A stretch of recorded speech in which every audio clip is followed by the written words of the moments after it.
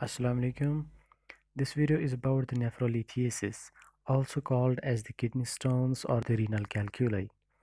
The nephrolithiasis means the presence of the stones or the calculi inside the kidneys, and urolithiasis means the presence of stones or calculi inside the urinary tract, like the ureters, the urinary bladder, or the urethra.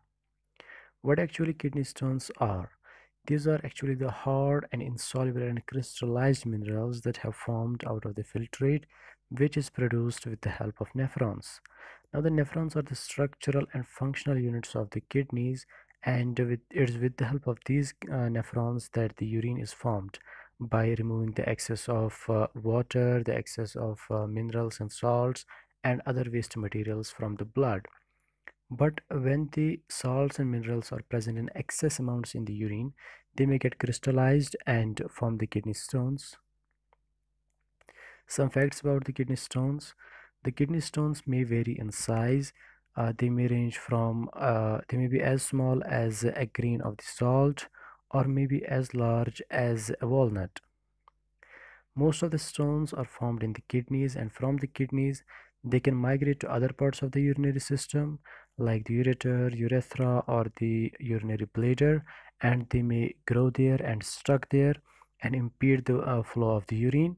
And uh, the urinary uh, the kidney stones may be found anywhere in the uh, urinary system like they may be found inside the kidneys they may be found inside the ureters or the bladder and most of the stones uh, can pass through easily uh, through the urinary tract especially the stones which are less than 5 millimeter in diameter.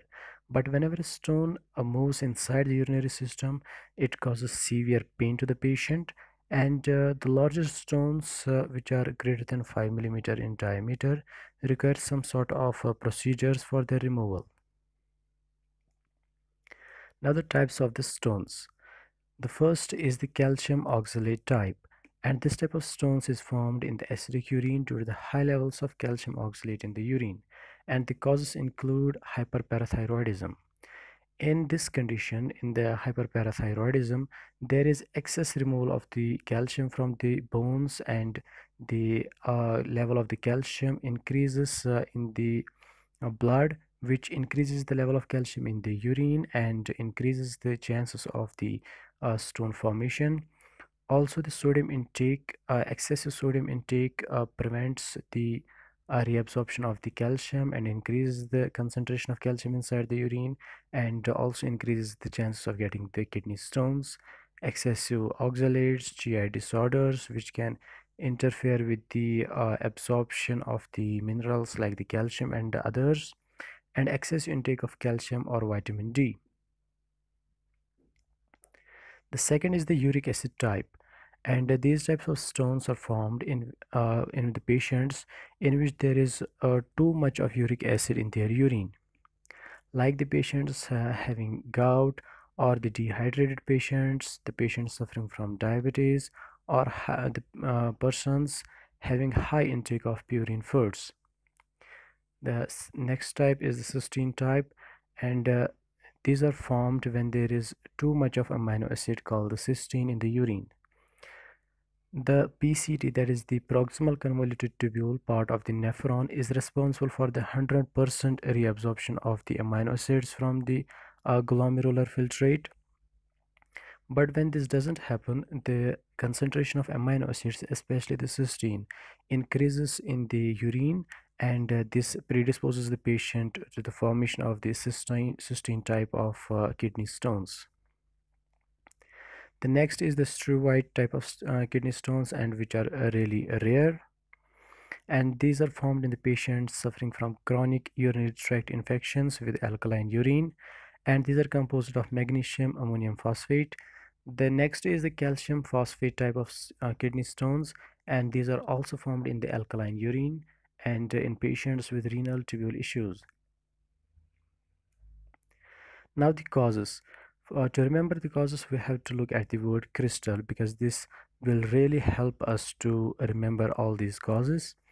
The first is the consuming of uh, foods high in oxalates purine salts and medications with calcium oxalate because this really increases the concentration of these substances inside the blood and inside the urine which predisposes a patient and uh, to the formation of uh, kidney stones and uh, in uh, due to this uh, the main type of stones which are formed include the calcium and uric acid type of stones.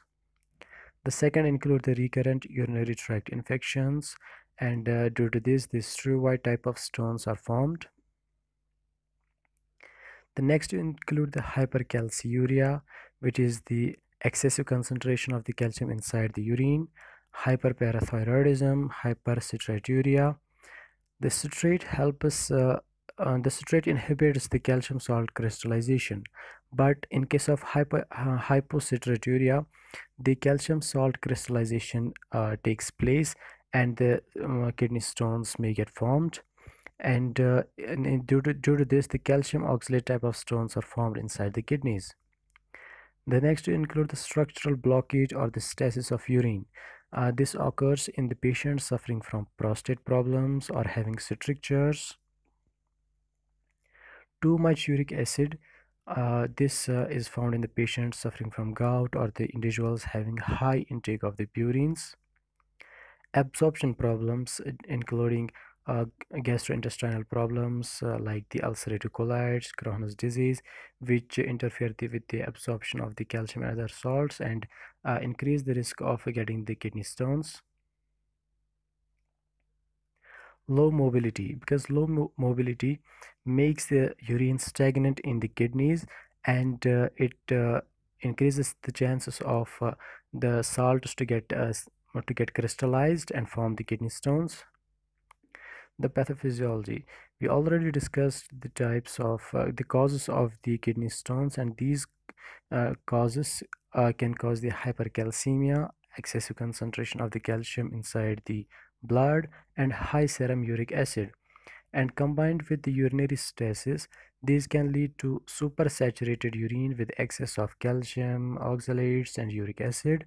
And uh, the precipitation and crystallization of these minerals may occur and lead to the stone formation and these stones may obstruct the pelvic outlet ureter or the bladder neck and uh, can lead to the flank pain fever, chills, dysuria, which is difficulty urinating, hematuria, uh, presence of blood in the urine, nausea, and vomiting.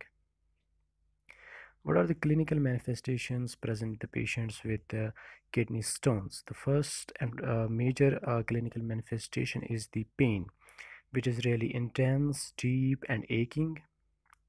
The second is the hematuria, that is the presence of the blood inside the urine nausea and vomiting which may be caused due to the intense pain urinary retention it occurs when the stones uh, block the bladder neck or some other part of the urinary system and uh, impede the flow of the urine fever or cloudy urine now the diagnosis First, we may uh, ask the patient for KUB, which is actually an X-ray. K stands for kidney, U for ureter, and B for bladder.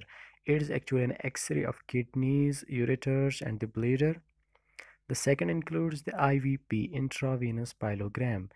It uh, includes uh, the administration of iodine-based dye to the patient and then taking the X-rays. Uh, we can also uh, ask the patient for USG or the CT scan and uh, urine urinalysis which can find out uh, the, the levels of various electrolytes minerals and the pH of the urine the, now the medical management first the to relieve the pain opioid or the non-steroidal anti-inflammatory analgesic agents may be given to the patient. The NSAIDs have uh, extra benefit because they relieve the uh, uh, inflammation and may really help in the removal of the stones. Increasing fluid intake to 3 to 4 liters per day because it uh, helps the urine in getting diluted and prevents the formation of further, uh, further formation of the stones and it, it also increases the hydrostatic pressure behind the stones and may help in the removal of the stones limiting the calcium and vitamin D supplements, uh, especially in uh, patients having calcium stones. uh, low purine diet or giving the patient allopurinol to reduce the serum uh, uric acid levels, especially in the patients having the uric acid stones and low protein diet in case of the cystine stones. The interventional procedures. First is the extracorporeal shock wave lithotripsy also called as the ESWL.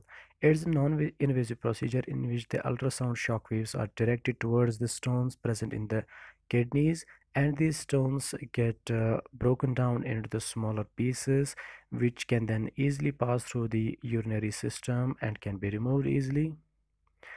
The next includes the percutaneous uh, nephrolithotomy.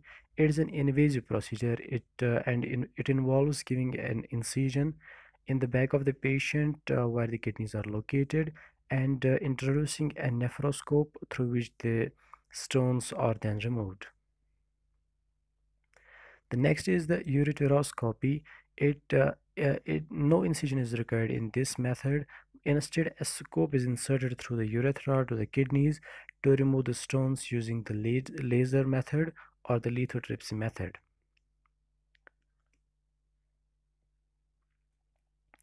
Now the nursing management.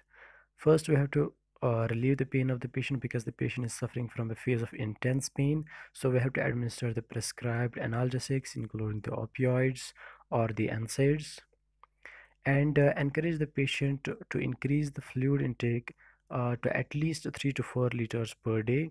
As we already mentioned, the benefits of increasing the fluid intake and monitor the input and output because uh, the patient may uh, the patient's urinary system may be blocked by the stones and uh, we may get a clue by monitoring the input and output about the uh, retention of the urine. Monitor patient for UTI because the patient having kidney stones is at a greater risk for developing urinary tract infections and finally to finally we have to educate the pa patient that the stones can reoccur and uh, advise the patient to stay hy uh, hydrated to make the urine uh, diluted and uh, the, to prevent the crystallization of the uh, minerals and the salts. Thank you. That was all about the kidney stones